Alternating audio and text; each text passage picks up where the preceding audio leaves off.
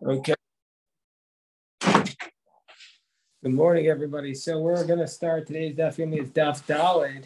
We're starting in the bottom of 3b, around four lines from the bottom, where the Gemara had said this idea of a Tosefes Shavias, the idea uh, that you that you can add on to this that you're supposed to add on to the sabbatical year is a law from Moses at Sinai. Is the law from Moshe Sinai. So the Gemara asked the question, Vahani is it really Allah of Moshe Mar Sinai? Karaininu. It's based upon a pasuk. What's the pasuk? Because it says in the verse, it says in the verse, it it says Sheishis Yamim Tavol Vayom Ashvish Tishbos Charish V'Chatzir Tishbos. It says in Exodus 34, actually about the mitzvah of Shabbos, it's six days you you, you shall work the you shall work, and on the seventh day you shall rest. You shall you shall cease from plowing and harvesting. And Rabbi Akiva says, Ein Omar It can't be that this verse is referring to just not plowing and harvesting in the sabbatical year. It already says in the Torah that you're not allowed to sow your field or your vineyard. So Rabbi Akiva says from here we see that there's a pasuk that tells us that it's referring to meaning to say you can't plow the field or harvest the field to help the food grow better in the seventh year. And you can't harvest what came out from you can't harvest what came out from the uh, the seventh year what into the eighth year. So we see from here the concept of of not um, of having a tosefes shvius, of adding on something to the sabbatical year. Whereas Rabbi Yishmael says, rishus, rishus. Rabbi Yishmael says, no, the pasuk is not referring to the sabbatical year, it's referring to Shabbos. And it's telling us as follows, it's just saying that just like plowing that's optional is prohibited, so too harvesting that's optional is prohibited. Yatsa Katsira Omer, but this pasuk is coming to tell us that harvesting of the Omer, which is a biblical law to do, meaning to say the bringing of the Omer offering on the 16th day of Nisan, that you would go out after the, first, after the first day of Pesach at night and cut the barley, harvest the barley, so you can bring it as a as a tenufas omer the next day that that is a mitzvah, a mitzvah, that that overrides the Shabbos, and you do it on Shabbos. So therefore, Rabbi Akiva has a pasuk. So why would you say that it's a law from Moses at Sinai that you're not allowed to work the that you have to do tosefesh fees that you have to add on to the sabbatical year?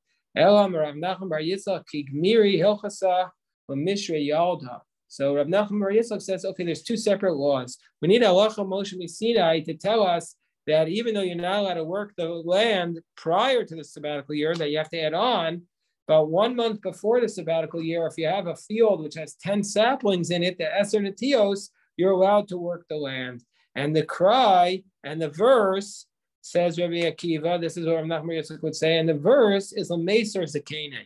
The verse is to tell us that you have to add on and you can't work work the field if there's just old trees in it. So the Gemara says, wait, that doesn't make sense. But even the Hilchasal and Mishra Yalda, since we have a law from Moses at Sinai telling us that we can work the field to uh, for the purpose of the young trees, Lav Memela, we would know Memela. Memela is one of those words that we can't translate. It's like we would know in, we would have figured out on our own, Zakena Asira, that an elder that uh, that the old trees, not the saplings, but the but the regular trees are prohibited to work the land even prior to the sabbatical year. So rather, the Gemara concludes, Rabbi Yishmael, Rabbi Akiva. Rabbi Akiva has a verse. Rabbi Akiva says this is a verse based upon the Torah, the laws of Tosef Eshvis, that you add on to the sabbatical year. But Rabbi Yishmael says it's halacha Moshe Sinai. Rabbi, Rabbi Yishmael says it's a law from Moses at Sinai. So says the Gemara, so says the Gemara, Rabbi Yochanan says, Rabbi Yochanan comes along and Rabbi Yochanan says, Rabbi Gamliel Beistino Midyaraisa Batalahu. The Rabbi Gamliel and their Bezdin, they nullified this concept of Tosefah Shvius. They said there's no such thing as Tosefah Shvius anymore. They, they, they, they got rid of it. They, they, they said they notified this concept that you're not allowed to plow in the field uh, uh, if there, even if there's old trees, 30 days prior to Rosh Hashanah of the seventh year. He said, so, and what's the reason why Rabbi Gamliel and his court were able to nullify it?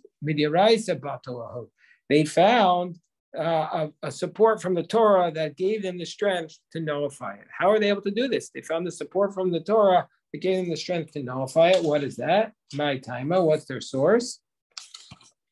Source is based upon the fact that it says Gamar Shabbos Shabbos me Shabbos Bereshis. That he going to that from a Gezerah Shava, from the t- word that appears by Shabbos by the sabbatical year, and the Shabbos that appears by Bereshis. Shabbos Bereshis, a reference to the Shabbos that, are, that refers to the Shabbos that we celebrate every week. Malalan lefanel achara mutarin. Just like when it comes to a regular Shabbos, Shabbos is prohibited, but before and afterwards it's permitted.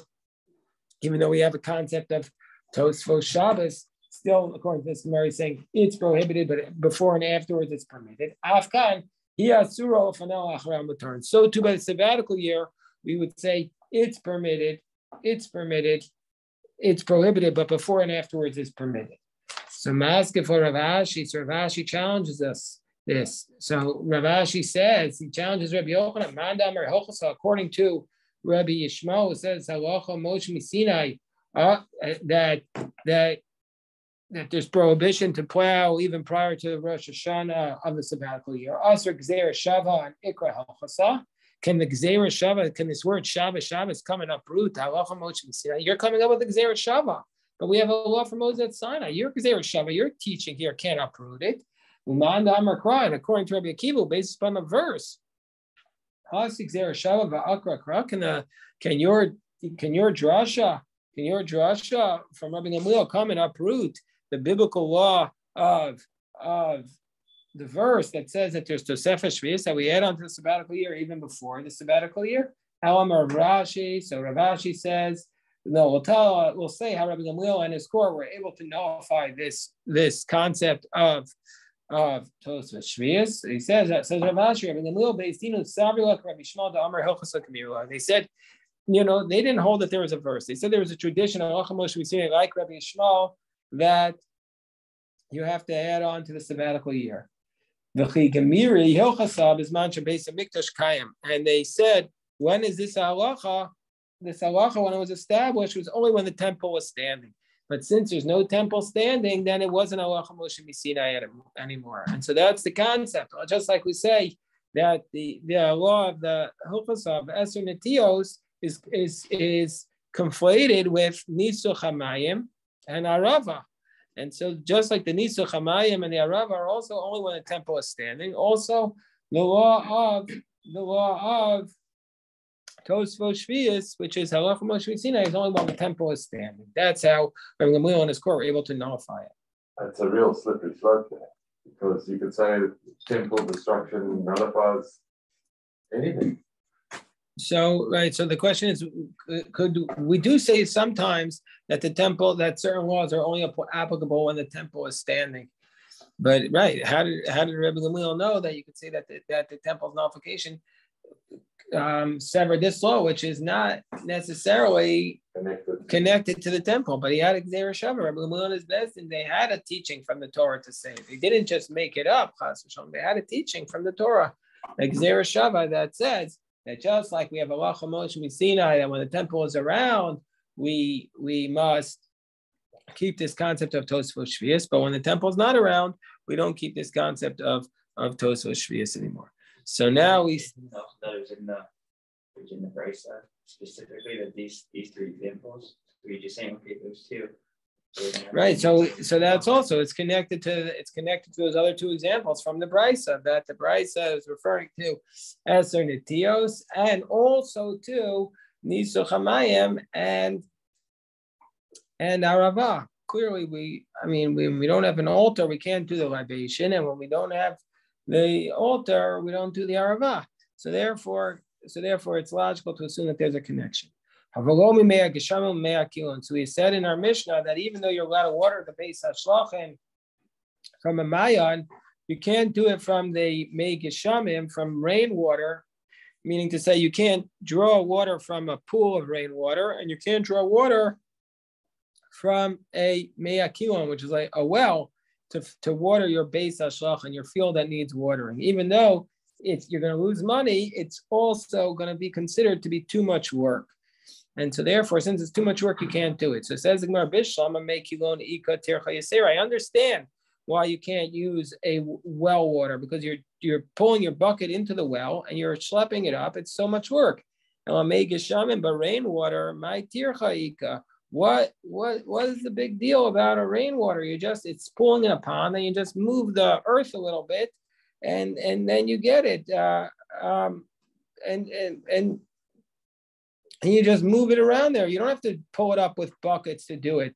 So therefore, so therefore, what's the big deal with the rainwater that you can't allow it? So Amar Rabbi Lazar, Amar Rabbi Yochanan, Zera Megishamim Atu Mekilon. He says, now if you're gonna come to use the rainwater to water your your base and your your field on the mountain that needs the water desperately, what's gonna happen next, Chas v'shalom, is you might come to to use the May kilo, that you might come to use the well water.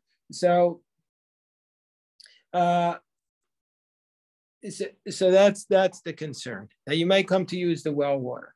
So the Gemara says Rav, Rav Ashi gives a different ex, explanation. That's the explanation of Rabbi Yochanan. Rav Ashi gives a different explanation. Rav Ashi says, no, me gushamim gufayu me kilon also. He says, no, the rainwater itself can actually turn into well water, meaning to say, as, as the printed Rashi says, mina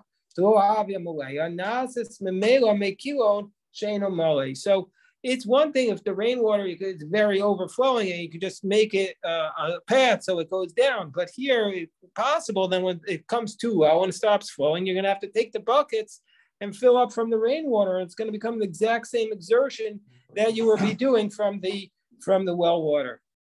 So the Gemara says, And this is actually an argument from a teaching that Rabbi Zera taught. Amar Rabbi Zera, Amar Rabbi Yirmiyah Amar Rabba bar Amar Shmuel, Naharos Hamosh Mayim and Agamim. Let's say you have Naharos, it's like, uh, or, or, or like little streams of water, Hamosh Mayim and Agamim, that draw their water from these ponds. So you have Naharos, you have these like tributaries that draw their water from the ponds. So Rabbi Zera said in the name of Rabbi Yirmi and the name of Shmuel that you can use those to water your fields on Chol Moed. So Mar Islay to Rabbi Zera, Umar Islay to Rabbi Zera. So one is of the position that you, he agrees with Rabbi Zera that you're allowed to use the uh, these the, the waters, the, the spring or the the the, the springs that, that come forth from the pond. And as a printed Rashi says, well, Gazri Dilma Psika Meagamim, Va'azavataracha Aisim in Naharacher.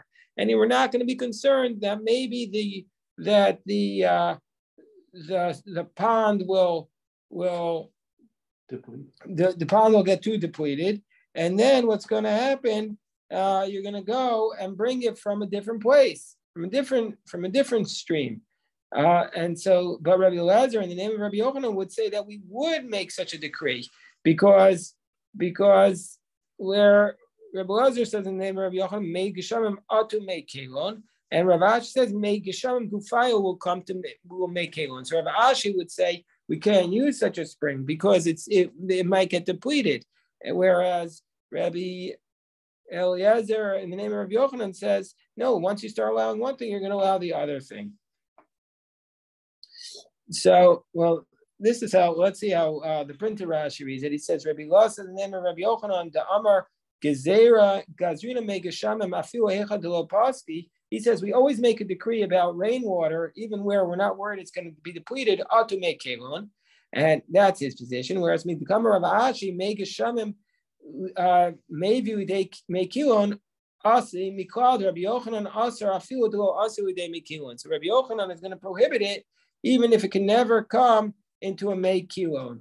And so Leisley the Rabbi Zera do Gazer. So he would not he would he would not agree with Rabbi Zera because Rabbi Zera didn't make a decree, but Rabbi Yochanan would have always made a decree. So now we analyze the statement. Gufa, Amar Rabbi Zera, Amar Rabbi Bar Yirmi, Amar Shmuel, the Haras of Moshe Mayim, Minagamim, Mutter Lahashkos Me Machol Moed. that you have these these uh, streams that they draw the water from the swamp. You're allowed to water with them on Chol Moed. So that's the statement. Because again, why are we out of water? We're not worried. Uh, we're not uh, we're not worried that you're going to come to use it from a well water. So, so, so the Gemara says, Eisvei Rabbi Yirmiyah Rabbi Zera. Rabbi Yirmiyah challenges Rabbi Zera. Avolomi make shavim, volomi make kilon. But doesn't it state explicitly that you're not allowed to? It says in our in our Mishnah, you're not allowed to draw from a rainwater or from a well water. Berei. So Yirmiyah Berei says Yirmiyah, his son says, Hani Agamim, he says, these swamps, these ponds above of bubble, they're never going to end off. We never have to be concerned that we're going to run out of water. And so therefore, since they're, since these swamps, he says, Yirmiyah, so Rabbi Zera said to Rabbi Yirmiyah, he says, Yirmiyah Beri, Yirmiyah, my son, these uh, these swamps of Babylon, they're always flowing. And so therefore the the streams that, that they pull from them, they're not like ponds that they're and so therefore, and so therefore, these streams. Uh, if I if I if um, these are the ones that I said you're allowed to water from them because you don't have to be concerned that maybe the water in them will ever be depleted yeah. and that you're going to come to have to draw from another place. Uh, interesting, you know, you can't do time travel, but if he saw today's reality, at the Tigris and the Euphrates, they're all dried up. So that's a good point. The Tiger today, he probably wouldn't say something else because the, we see the rivers today are being like suctioned off and everything. So it's a different story. Yeah, I mean, you know, you can't you can't prophesize yeah. fifteen hundred years up, but good. So Tana Rabbanon, so the rabbis taught with respect to since we're talking about the the, the watering from uh, from from ditches that have water in them, Tana Rabbanon Hapasikos these are little ditches that were not were not specifically made for the fill to be filled with water. Brechos, these are ditches that they were made for the specifically to, to collect water in them. Let's say they became, they became filled with water from the eve of Yom we're not allowed to use them to irrigate the fields with a moed because we're concerned that maybe the water will be depleted and you're going to have to bring from a faraway place and it'll be too much of a hardship. But if there was a a furrow of water there that was that was channeling the water from the spring, that was Overis name that was uh, that was coming uh, that was bringing the water mutter. Then you could water the field from this rainwater from uh, from on Chomoy because even if the rainwater will be will be finished, you could you could always get the water from the from the Ama from the from the furrow, and so therefore you're not going to have to bring it from another place. Meaning say, even if the even if the the rainwater itself is depleted, the canal is going to bring the water from a spring and it'll eventually be refilled, and you don't have to go and get the water from another place. So we're not worried it's going to lead to a tircha, to an extra hardship. So Amrav Papa. No, not no, that concern is only going to be alleviated if the majority of that field is, is watered from that canal. But if it's not the majority of that field, then you're going to come and, and you're not going to wait for the canal and you're going to go and get the water from a different source. It's going to lead to a tircha. Rav Ashi disagrees with Rav Papa. Rav Ashi says, no, Sada shows uh, keeping the kamash chavasya meima amari lo shasa chayam atishti l'trei He says no, even if the majority of the field doesn't water from that canal, it's still going to be the case that because you'll say, okay, even if I don't fill it all up today, I'll fill it up for two or three days, and it's going to be better than rushing and, and, and working so hard to bring it from another place. Tana Rabbanon, so the rabbis taught, the Gemara is going to make a bright so that clarifies this, this law of irrigating by two fields that are near each other. One is lower and one is higher. Tana Rabbanon, brecha shenotefes mayim mistay beis. So let's say you have uh, let's say basically uh. So let's say you have two uh, hashachan fields, two fields that re- really require water that you're allowed to water them moed, and one is higher than the other. And on the side of the upper field, there is a uh, spring that that that feeds water into it. And between the two fields, there's a small pool of water. And so when you water the upper field from the spring, then the water drips and goes down from the upper field into the pool between the two fields. So you're allowed to, what, what this price is telling us is that you're allowed to irrigate the uh, uh, uh, the lower field from this from this from this pool. And even though it's possible that uh, that the pool will dry up in the middle, we don't have to be concerned that maybe you're going to bring water from another place because the water will eventually get there from the upper field and drip into the lower field. Mar says Vavida the, the psaka, but we but we know that it's gonna that it's that it's gonna dry up, and we have to be concerned that maybe he's gonna bring it from another place.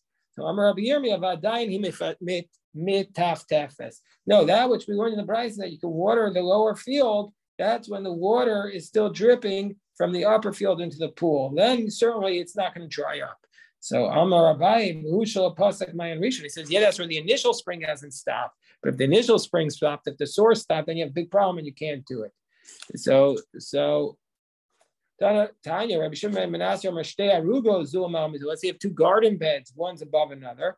Well, Yidla Minatachtona Viashkes Arugo. You can't take the excess water from the lower field and you know draw it up with your bucket and water the upper field. Yoser Alkinam Rabbi Lazar Shimon Afilu Aruga Achas Chatzia.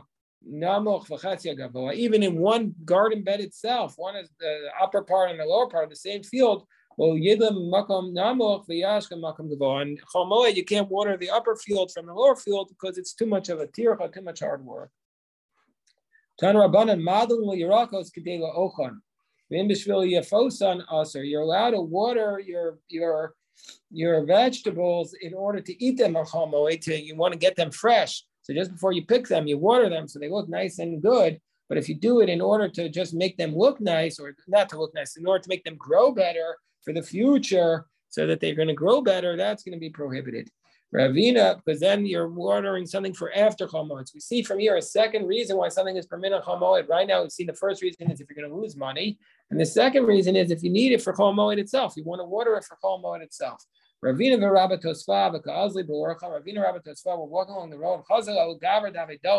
They saw a man who was uh, who was drawing water with his pail in order to in order to water his vegetables on on Cholamoed. So Amarle Rabba Tosfa Ravina Leisi Maroshamte. So Rabba Tosfa said to Ravina, excommunicate him. He's drawing water from the bucket on Cholamoed. He's doing something wrong. Amarle so Ravina said to Rabba Tosfa, no, he's permitted. He's, he wants to eat them on Chol That's why he's bringing the bucket to draw the water on. He's trying to eat it on. Amarle, so he says, Mi Savres. No, you're reading the Brisa wrong. When it says Madon Lirakos Ochan, do you think my Madon Madon Maya doesn't mean that you're allowed to draw up the water? Madon doesn't mean you're drawing up water. No, what does Madon mean? My, we're on the top of Dalit Amad Beis. What is Madlin? Shalufe. It means, it refers to not drawing water in a bucket. It means something else entirely. Just like we don't always know what the words mean, they don't always know what the words mean.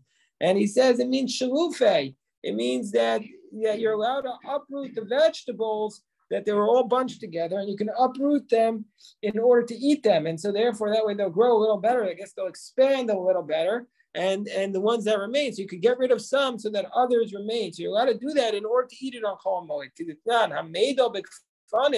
Uh, that somebody wants to you know, like clear out some of the, the grapes that are all clustered together uh, so that they'll, they'll grow better. So we're talking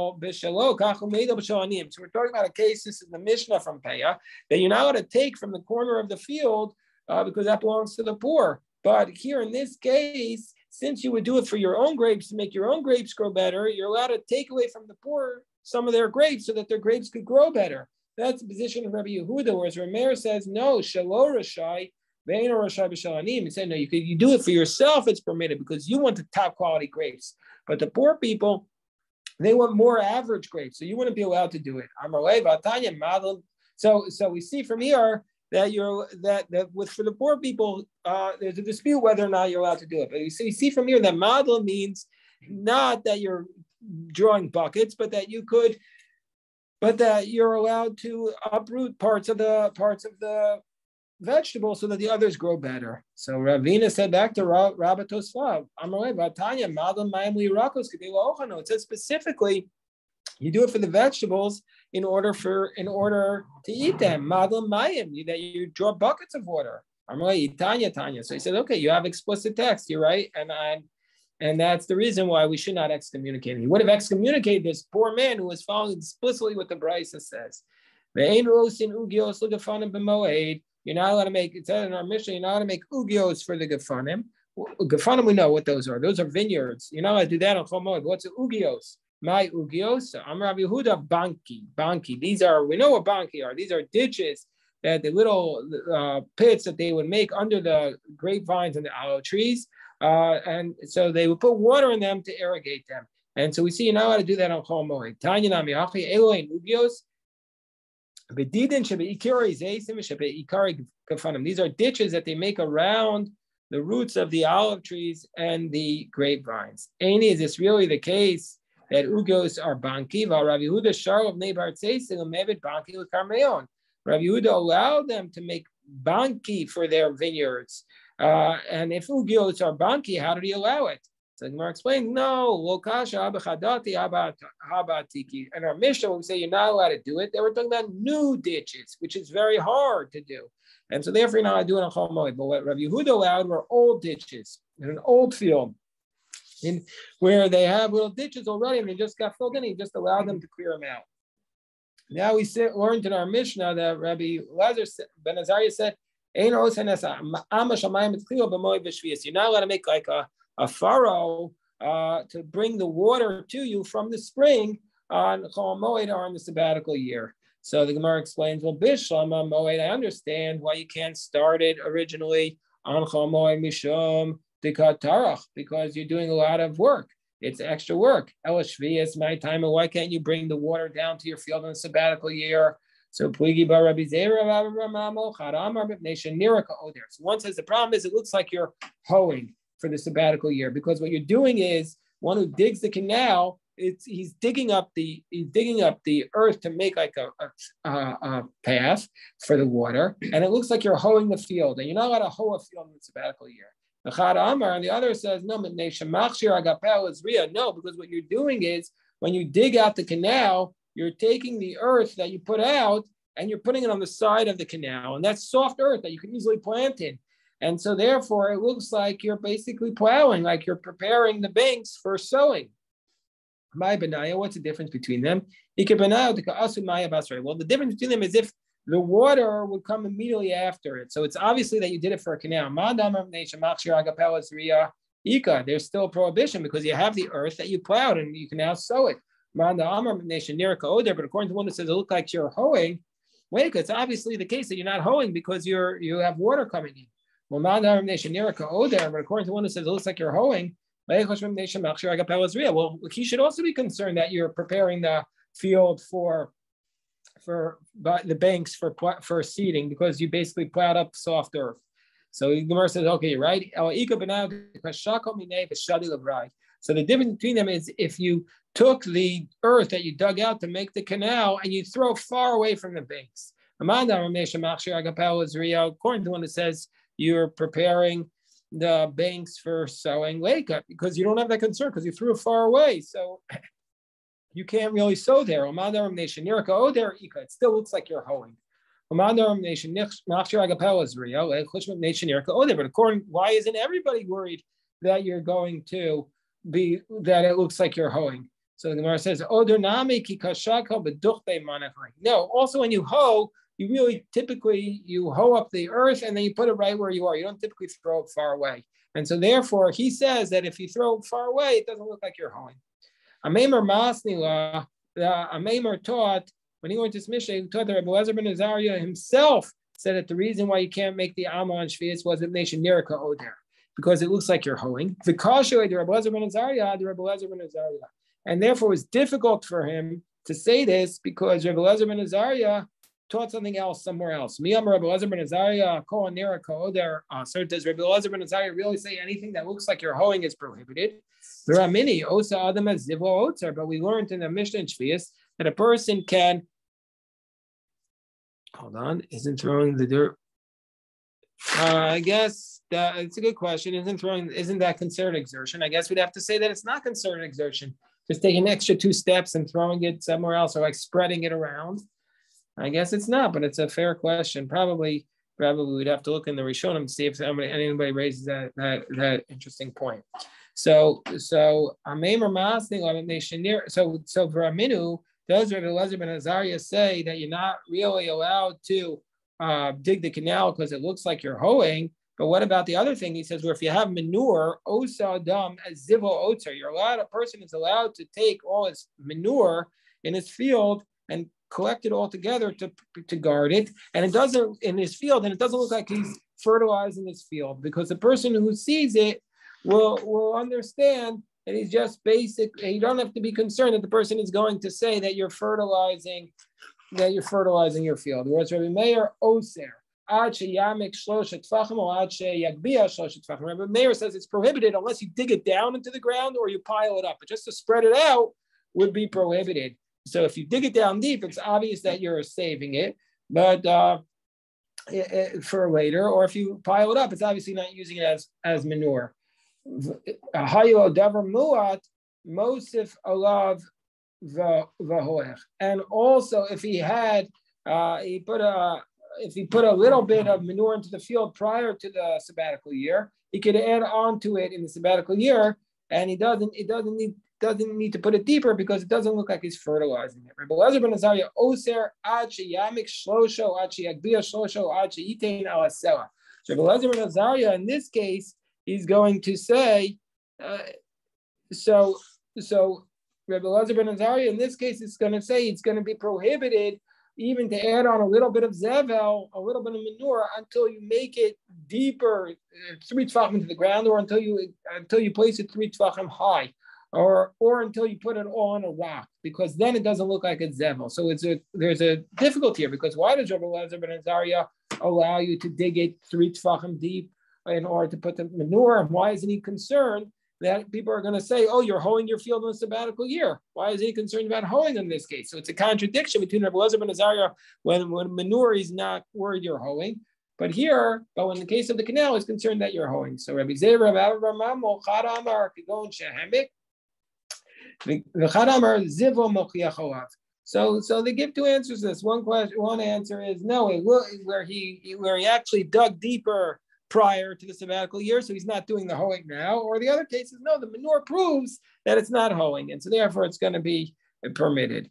So okay, so that's that's a lot of agriculture. The rest of the week is not as much uh, technical uh, technical agriculture. It's a little bit a little bit easier. Ends up to be a maris ayin issue, basically. They, exactly, exactly. Okay.